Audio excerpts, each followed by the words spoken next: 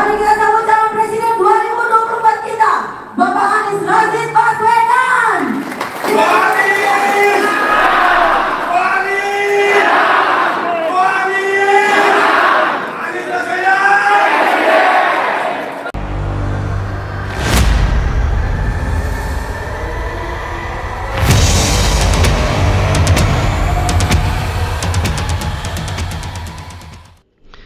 Assalamualaikum warahmatullahi wabarakatuh. Jumpa lagi dengan Enjoy Channel Channel yang membahas berita teraktual Terhangat dan sedang menjadi perbincangan publik. Sahabat Enjoy Channel Kali ini yang akan kita bahas mengenai Pak Anies Baswedan. Walaupun Pak Anies Baswedan tidak menjabat sebagai Gubernur DKI Jakarta Namun kegiatan Pak Anies ternyata cukup padat teman-teman.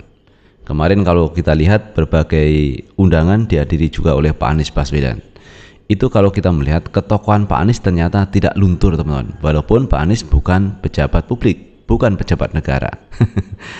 Kalau kita lihat kemarin juga ada namanya Go Anies teman-teman. Go Anies ini mendeklarasikan Anies Baswedan untuk menjadi calon presiden di 2024 dan kalau kita lihat ada beberapa kader partai Golkar ini justru mendukung Pak Anies menjadi calon presiden di 2024 yang bergabung dalam relawan Anies yang namanya Go Anies. Nah teman-teman untuk lebih jelasnya coba kita lihat dulu video yang satu ini. Mari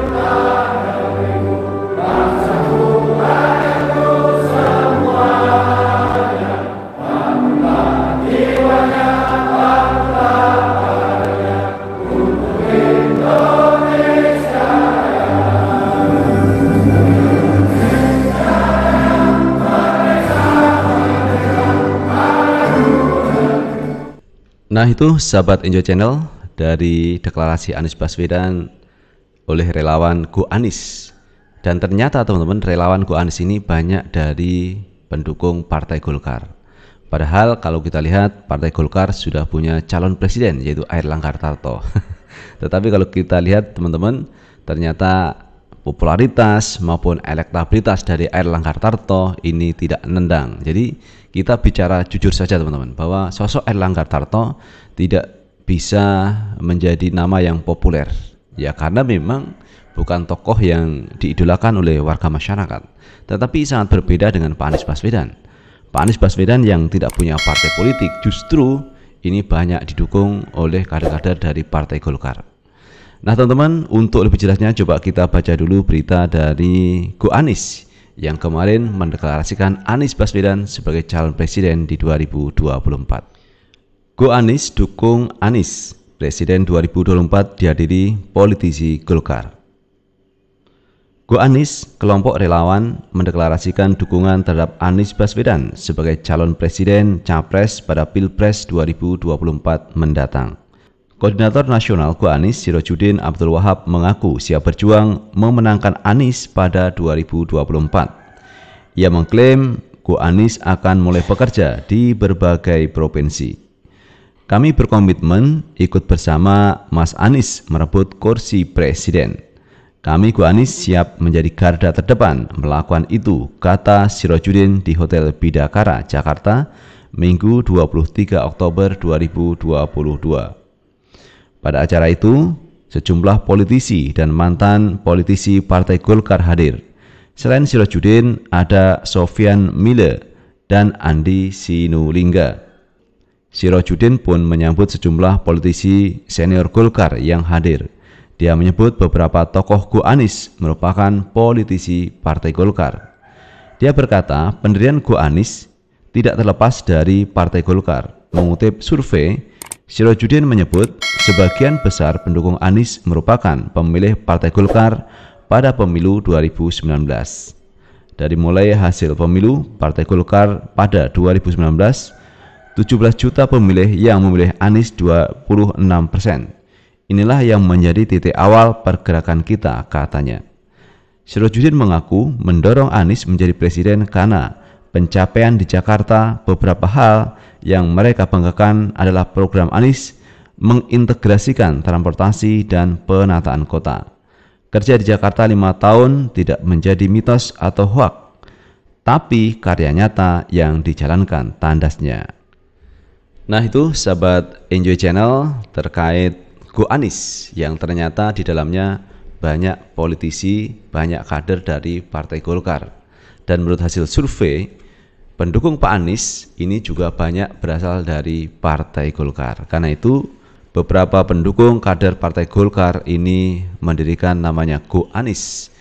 Untuk apa? Untuk mendukung Anies maju di Pilpres 2024 yang akan datang. Padahal kalau kita lihat di Golkar sendiri sudah ada calon presiden yaitu Erlangga Hartarto tetapi ini Gu Anis malah memilih Pak Anies Baswedan menjadi calon presiden bahkan kalau kita lihat ada bus yang namanya Gu Anis teman-teman jadi sudah ada busnya ini kan sesuatu yang luar biasa jadi tidak seperti yang 2019 eh, ya ketika euforia publik memilih Pak Prabowo menjadi calon presiden. Tetapi ini jauh lebih besar teman-teman.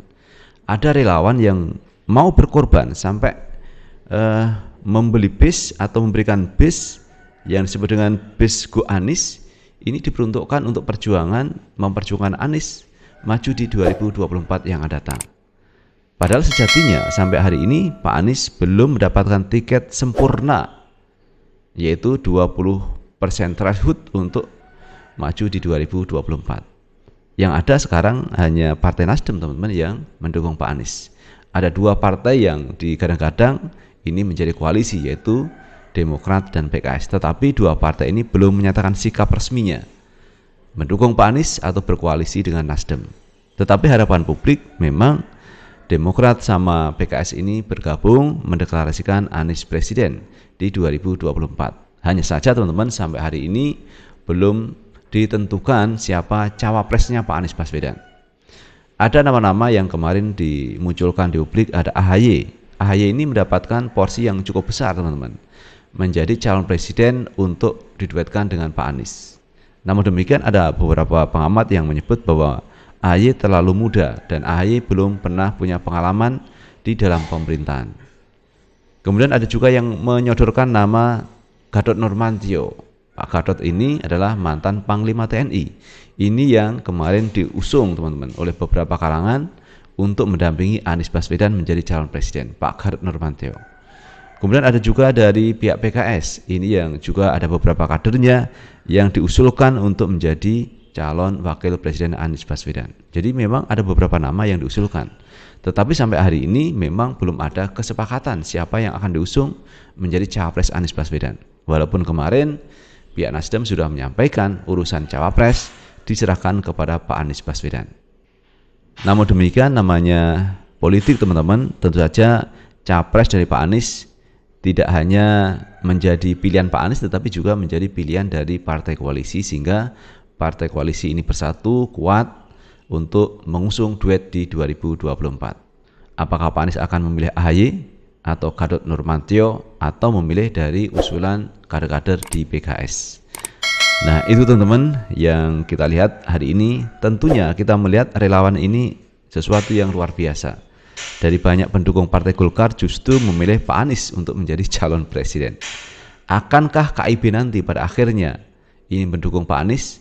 Kalau KIB mendukung Pak Anies, ini sebenarnya sudah selesai. Pak Anies memenangkan pertarungan Pilpres di 2024. Kenapa begitu? Karena kalau kita lihat koalisi antara Nasdem, PKS, Demokrat itu sudah memenangkan koalisi misalkan melawan KIP. Itu menang kalau head to head antara koalisi Nasdem, PKS, Demokrat melawan KIP. Kalah itu KIP. Kemudian kalau kita lawankan dengan koalisinya Gerindra PKB, kalah itu Gerindra PKB. Apalagi melawan PDIP yang tidak berkoalisi, kalah itu PDIP. Apalagi nanti teman-teman misalkan KIP bergabung dengan koalisinya ini, Nasdem, Demokrat, PKS selesai itu. Pak Anies memenangkan di Pilpres 2024. Itu sahabat Enjoy Channel yang bisa kita bahas kali ini terkait Gu Anies. Relawan Gu Anies yang mendukung Anies Baswedan menjadi calon presiden di 2024. Terima kasih teman-teman telah menonton video ini. Jangan lupa like, subscribe, share, dan komen di channel ini agar kita bisa membangun channel ini menjadi lebih baik lagi. Sukses selalu. Assalamualaikum warahmatullahi wabarakatuh.